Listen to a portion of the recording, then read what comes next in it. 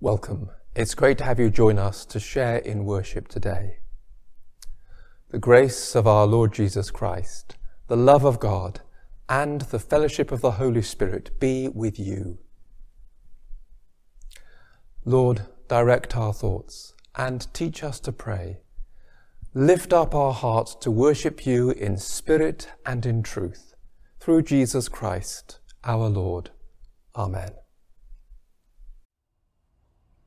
Now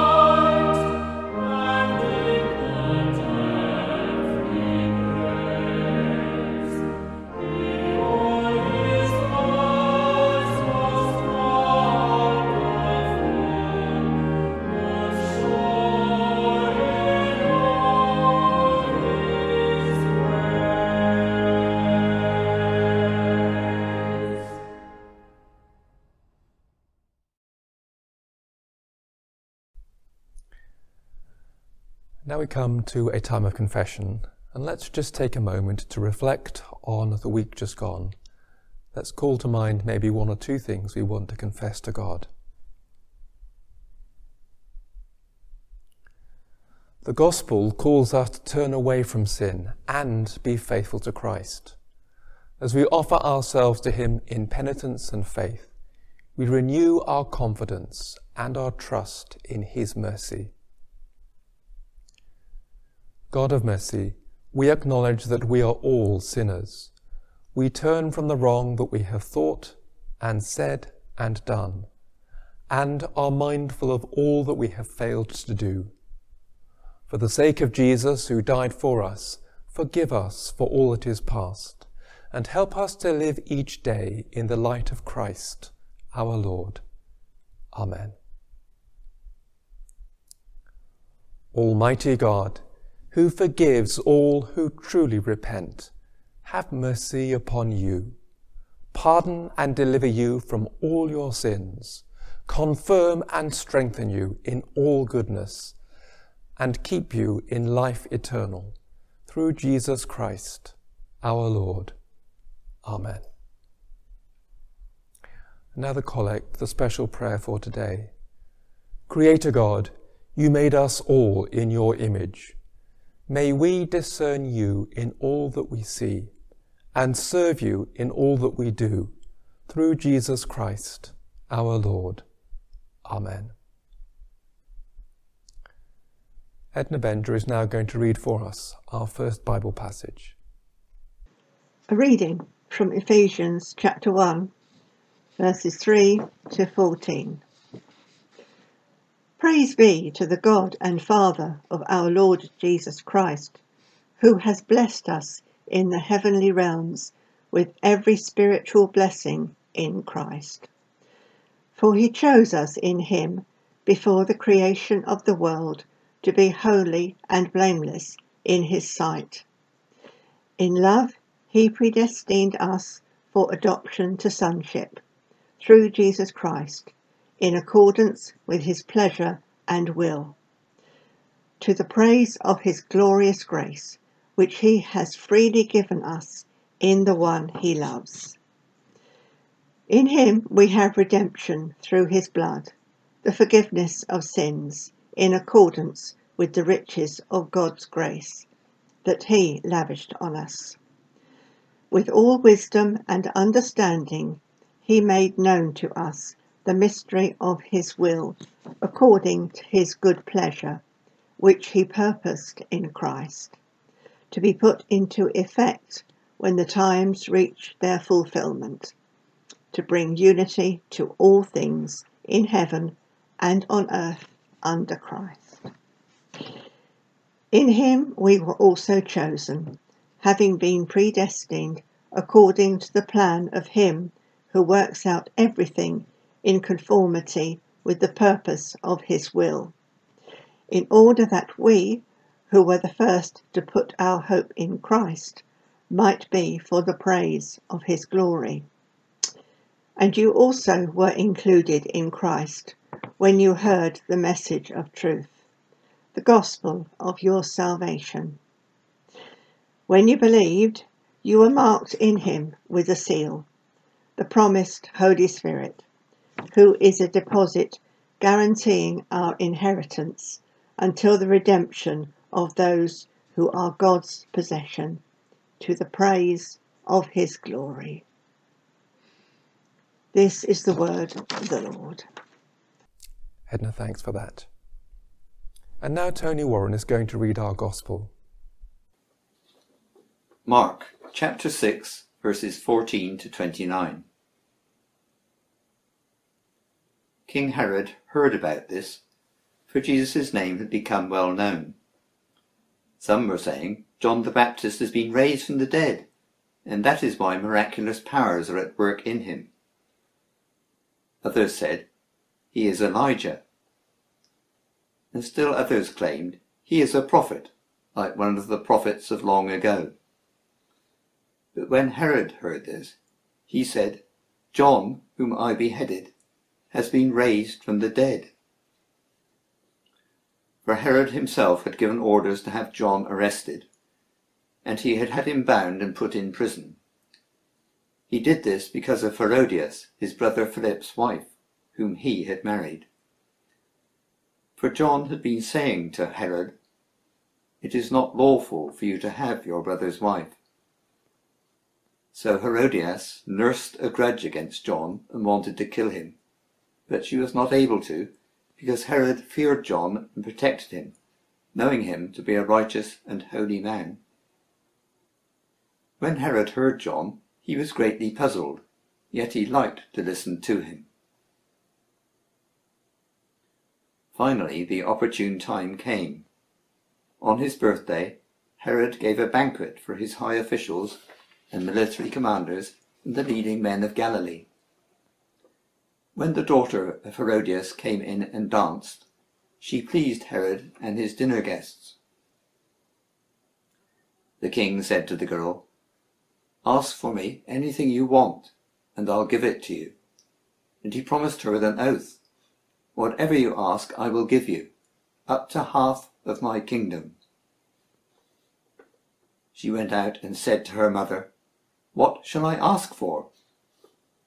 The head of John the Baptist, she answered. At once the girl hurried into the king with the request, I want you to give me right now the head of John the Baptist on a dish. The king was greatly distressed, but because of his oaths and his dinner guests, he did not want to refuse her. So he immediately sent an executioner with orders to bring John's head. The man went, beheaded John in the prison, and brought back his head on a dish. He presented it to the girl, and she gave it to her mother. On hearing of this, John's disciples came and took his body and laid it in a tomb. Tony, thank you very much for that. Our world, it can be a pretty tough place. The last year has taught us that even in a wealthy and established democracy, we are not immune from the suffering that afflicts our world. And whilst the pandemic continues, there are also still the wars, the tensions, the famines, the natural disasters that can make life so very hard for some folk. Now you might think, indeed you might even hope, that coming to worship could be a respite from all this, but clearly not. Our gospel passage today recounts an act of casual brutality every bit as awful as anything else we might hear or read about today. I think what makes this story even odder in a church context is the way that we respond to it in our worship. After reading of the gruesome end of John the Baptist, I'll say in our church service, This is the gospel of the Lord. And everyone responds, Praise to Christ our Lord. Which begs the question are we listening? Is this really gospel? Is it really good news? And do we really respond to such an awful event with the words, Praise to Christ our Lord? Well, I'll come back to those hard questions a bit later. Now, in recent weeks, we've been following through St. Mark's Gospel, and it's become clear that behind his Gospel is a question, and the question is this Who is Jesus? So it is that in the opening verses of that Gospel passage, we hear of yet more speculation about who Jesus might be. And one of the speculators is King Herod. And his novel contribution to this debate is the suggestion that Jesus is actually John the Baptist raised from the dead. Now, is this a sense of guilt? Is it black humour? Is it a veiled suggestion that Jesus might well go the same way? Now, as usual, we don't know because all Mark does is record Herod's words and leaves us to draw our conclusions. But what this does do is give Mark the occasion to relate the story of John the Baptist's death. And as we heard, it is a sorry tale of the abuse of power. Petty jealousy, too much wine, a boastful promise, and unwillingness to lose face all combine with a callous disregard for human life. And John the Baptist dies as a victim of this toxic mixture. So, what on earth are we to make of this story? Well, one of the pitfalls of reading short passages of Scripture, as we do in worship, is that we often end up taking episodes right out of context. And sometimes we need to put them back into context in order to make any kind of sense. And I would suggest that this is one such case.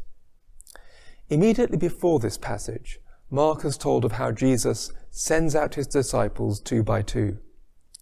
How is it that they are to do this work of God's kingdom? Well, they are to go out utterly vulnerable.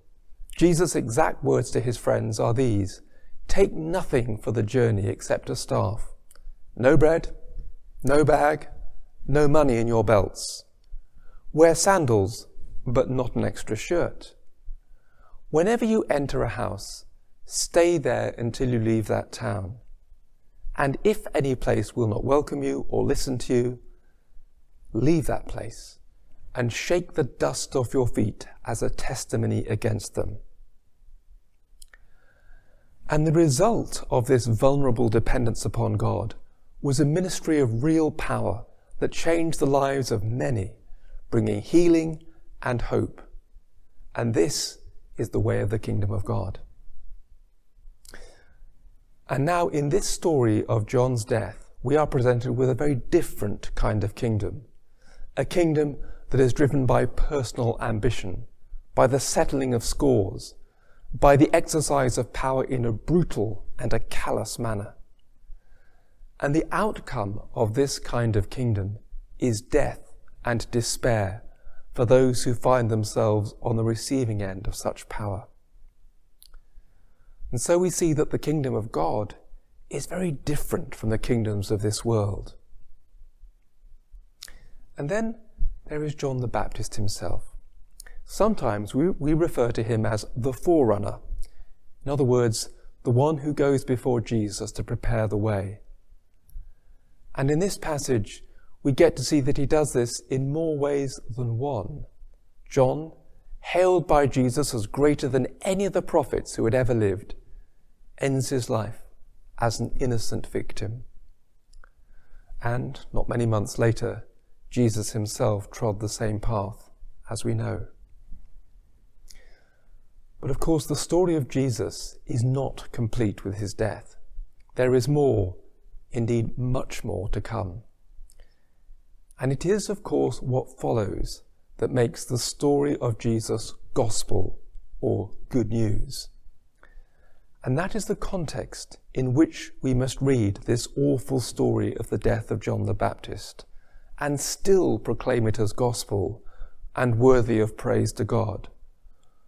For we know that death is not the end, that not even death can separate us from the love of God that is in Christ Jesus. When we read this story, we are reminded that God does not stand removed from the tragedies and the torments of this life. Far from it. In Jesus, he has suffered the cruel injustices of this world. In Jesus, he has suffered the worst that human beings can do to each other. And yet, he has overcome and he has forgiven. The cross of Christ is the point at which defeat is turned into victory. And as we read of the death of John the Baptist today at the hands of Herod, we can reflect that whilst he had the power to order the death of John, there is a power much greater than that of Herod, the power of life and death. This is the power that John the Baptist bore witness to, and this is the power that we celebrate and remember whenever we gather to worship. It is the power that gave us the gift of life in the first place. It is the power that sustains that life that is within us. It is the power that will carry us beyond this mortal life into something altogether greater and better. So, yes, this is indeed a grim story, but it is still gospel, and we can still praise God. There is hope in our world which suffers.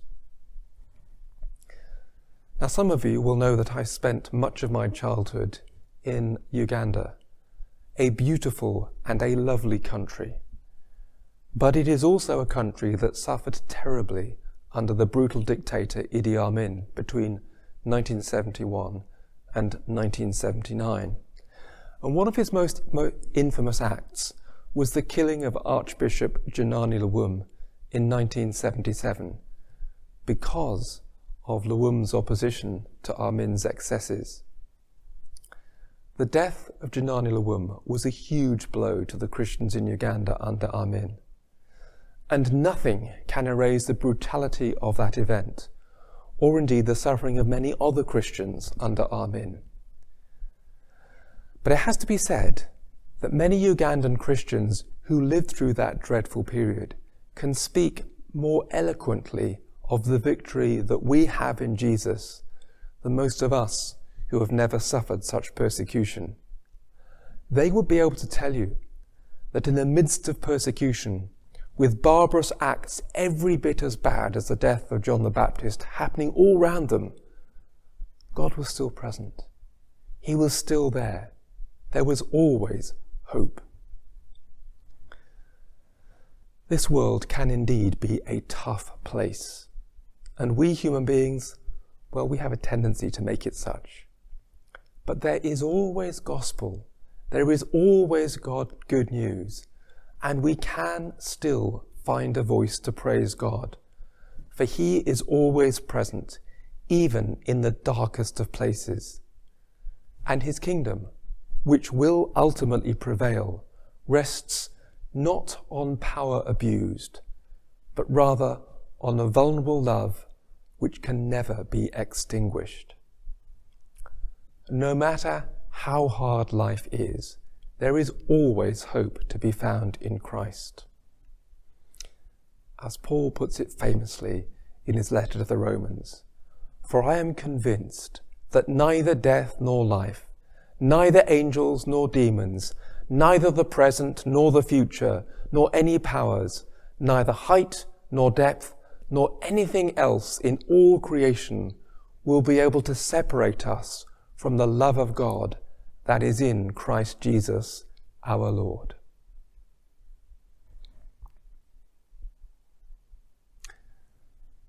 Let's now come before the Lord in prayers of intercession, shall we? And in the power of the Spirit and in union with Christ, let us pray to the Father. Almighty God, our Heavenly Father, you promise through your Son, Jesus Christ, to hear us when we pray in faith. Strengthen our bishops and all your church in the service of Christ, that those who confess your name may be united in your truth, live together in your love, and reveal your glory in the world. Bless and guide Elizabeth our Queen. Give wisdom to all in authority, and direct this and every nation in the ways of justice and of peace, that we may honour one another and seek the common good. Give grace to us, our families, and our friends, and to all our neighbours, that we may serve Christ in one another and love as he loves us. Comfort and heal all those who suffer in body, mind, or spirit Give them courage and hope in their troubles, and bring them the joy of your salvation. And hear us as we remember those who have died in the faith of Christ. According to your promises, grant us with them a share in your eternal kingdom. And rejoicing in the fellowship of all your saints, we commend ourselves and the whole of creation to your unfailing love. We join together in the words that Jesus himself taught us to pray. Our Father in heaven, hallowed be your name. Your kingdom come, your will be done on earth as in heaven. Give us today our daily bread. Forgive us our sins, as we forgive those who sin against us Lead us not into temptation, but deliver us from evil. For the kingdom, the power, and the glory are yours, now and forever. Amen. Now let's share in the peace, shall we? We are all one in Christ Jesus. We belong to him through faith, heirs of the promise of the Spirit of peace. The peace of the Lord be always with you. The peace of the Lord. The peace of the Lord be with you.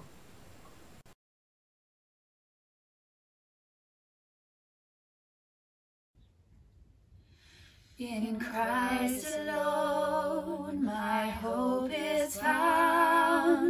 He is my light, my strength, my song. This cornerstone, this solid ground, firm through the fiercest drought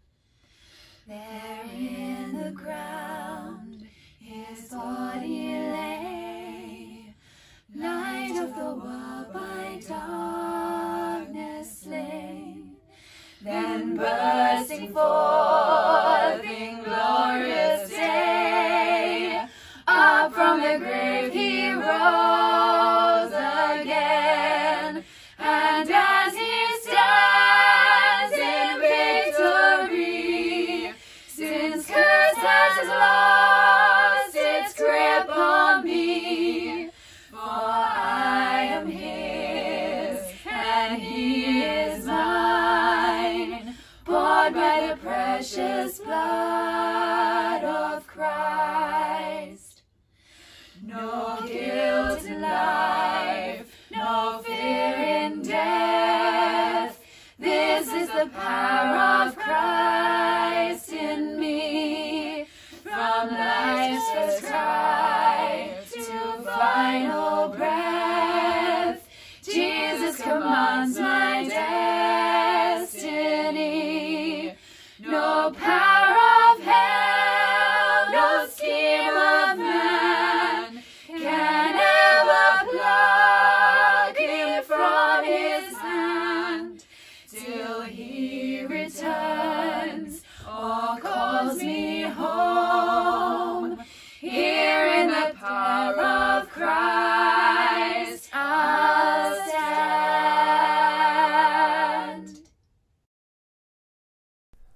Now may the peace of God, which passes all understanding, keep your hearts and minds in the knowledge and love of God, and of his Son, Jesus Christ our Lord.